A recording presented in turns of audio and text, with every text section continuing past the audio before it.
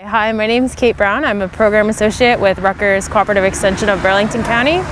Today we're here at the Burlington County Agricultural Center to show how to scrape spotted lanternfly egg masses. So there are ways to control spotted lanternfly throughout the whole uh, year round, but right now is the best time to scrape spotted lanternfly eggs between fall and early spring. And by doing so, you can get rid of 30 to 50 eggs, which are all in one egg mass. So you're helping to control the population uh, and the nymphs that will emerge come spring.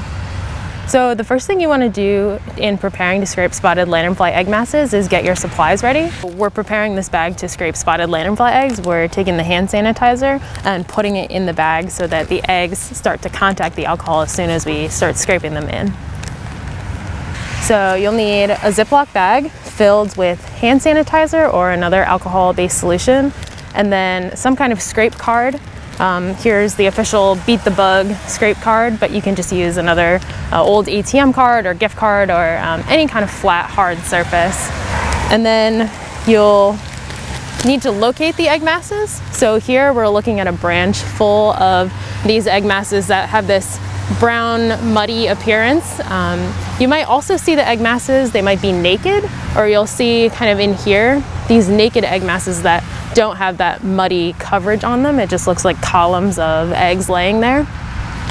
So once you identify an area with egg masses, then uh, there's two things you can do.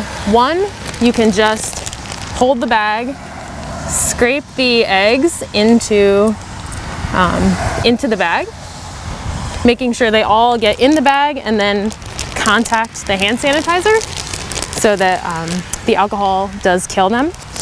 Or you can first uh, take the back of the card, press against the egg mass to kill the, uh, the nymphs inside, the larvae inside, and then you can scrape that uh, into the bag again.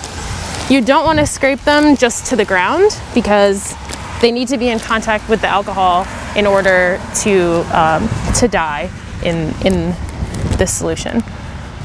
Burlington County is one of eight counties in New Jersey that currently has a quarantine in effect for spotted lanternfly. So if you see spotted lanternfly in a quarantine county, you don't need to report it anymore. But if you do see spotted lanternfly outside of the quarantine counties, then you should report that sighting to the New Jersey Department of Agriculture. Now that we're done scraping the spotted lanternfly eggs, we need to practice certain steps to dispose of them properly. So first we want to close the bag up and then we can just use the tree and press all the hand sanitizer up along all the eggs so we make sure that they are contacting that alcohol.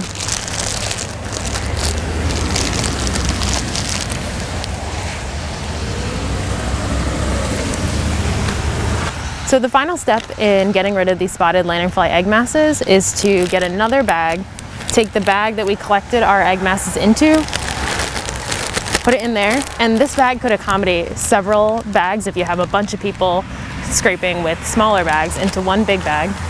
And then zip this shut. And then we'll throw this double bagged bag of spotted lanternfly eggs into the trash. And that will be sufficient to get rid of these egg masses and help protect us for next year. So thank you for watching this video on how to scrape spotted lanternfly eggs and also thank you in advance for participating in scraping season and helping protect our county and surrounding counties and even other states from the spread of this invasive pest.